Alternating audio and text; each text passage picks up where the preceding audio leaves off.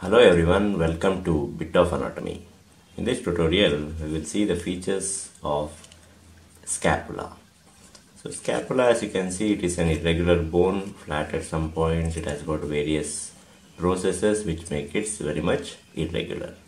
So it is situated in the posterolateral wall of the thorax, extending from second to seventh thoracic ribs. So it has got three borders, few processes, two surfaces and few angles. First we will see the major features then uh, we will appreciate the side determination of scapula. So it has got a medial border which is very thin. So medial thin border. So there is a lateral thick border and again a thin and a shortish border the superior border. So corresponding to three borders there are three angles the superior angle, the inferior angle and the lateral angle. So in the lateral angle there is a there is presence of glenoid fossa or glenoid cavity. So these are the three angles superior, inferior and the lateral angle part. So there are two surfaces costal surface or the anterior surface and the dorsal surface. So which is separated by a process here called as spinous process. So this spinous process laterally it will extend as acromial process and in front there is one more beak-like process called as coracoid process. So these are the three processes the spine or the spinous process, the acromial process and the coracoid process part.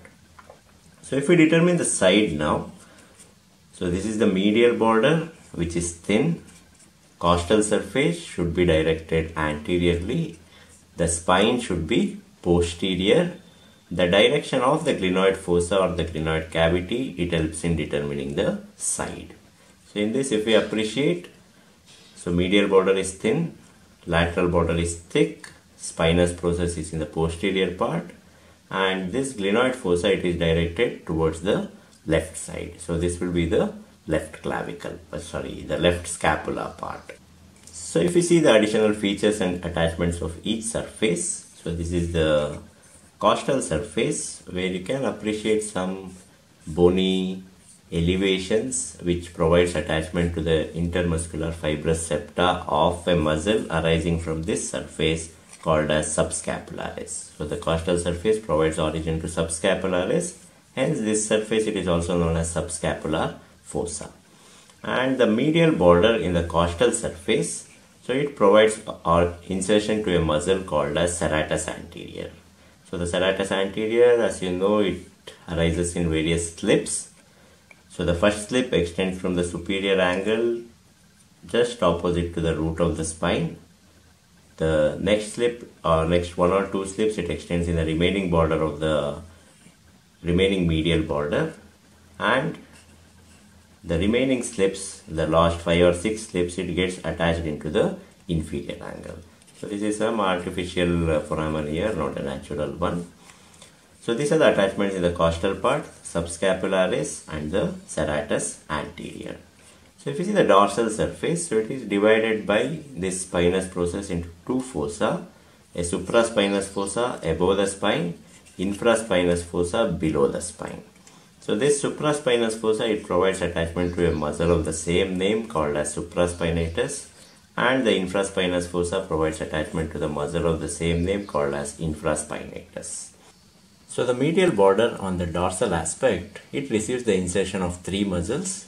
From superior angle to the root of the spine, it receives the insertion of levator scapulae. Opposite the root of the spine, it receives the insertion of rhomboides minor and from the root of the spine till the inferior angle it receives the insertion of rhomboides major muscle. And the lateral border if you appreciate you can see this separation here a prominent ridge is present. So above this ridge so this part provides origin to teres minor. Below the ridge it provides origin to teres major. Whereas the inferior angle in the dorsal aspect it provides origin to few slips of the latissimus dorsi muscle so these are the major attachments in the dorsal surface. Supraspinatus from the supraspinous fossa, infraspinatus from the infraspinous fossa, levator scapulae extending from superior angle to the root, rhomboides minor, rhomboides major, teres minor and teres major. So if you see the processes, so first if you see the coracoid process, so it is a beak-like process extending anteriorly. So the tip of the process, it provides origin to coracobrachialis and the short head of biceps brachii and here there will be insertion of pectoralis minor muscle. It also receives the attachment or it provides attachment to some ligaments like uh, ligament extending from coracoid process to the acromial process and coracoclavicular ligament which is again which again consists of conoid and the trapezoid parts. So these are the attachments for the coracoid process. So if you see the spinous process, as you can see, there's got an upper surface which along with the supraspinous fossa provides attachment to supraspinatus and a lower surface which along with the infraspinous fossa provides attachment to the infraspinatus. So it has got an upper border and a lower border. So the upper border of the spine, it is continuous with the medial border of the acromial process. Similarly, the lower border is continuous with lateral border of acromial process. So these provide same attachments. So if you see the attachments, this upper border it receives the attachment of the trapezius muscle and even the medial border of the acromial process receives the attachment of trapezius muscle. Whereas the lower border of the spine and also the lateral border of the acromial process, it provides origin to fibers of the deltoid. So this lower border it provides origin to posterior fibers of deltoid whereas this lateral border of the acromial process where provides origin to middle fibers or acromial fibers of deltoid. If you see here, there are some elevations of the bone here, irregular elevations in between. So these provide attachment to the intermuscular fibrous septa. So that makes the middle fibers or acromial fibers multipinnate in nature. So these are the attachments for the spine and also for the acromial process. And a ligament attached to the acromial process as already said so it provides attachment to a ligament called as coracoacromial ligament extending from coracoid process to the acromial process. So next there is this glenoid fossa or glenoid cavity which forms a joint with the head of the humerus forming the shoulder joint. So just above and below the glenoid fossa there are two tubercles, supraglenoid tubercle and infraglenoid tubercle. So this supraglenoid tubercle, it provides origin to the long head of biceps brachii which is intracapsular in origin but extrasynovial whereas this infraglenoid tubercle provides attachment to the long head of triceps brachii which is both extracapsular and extrasynovial part. And near this superior border we can see a notch here at the junction of the root of the coracoid process and the medial aspect of the superior border. So this is called as suprascapular notch. So usually it is converted into a foramen by a ligament called as suprascapular ligament. So there is a suprascapular foramen here.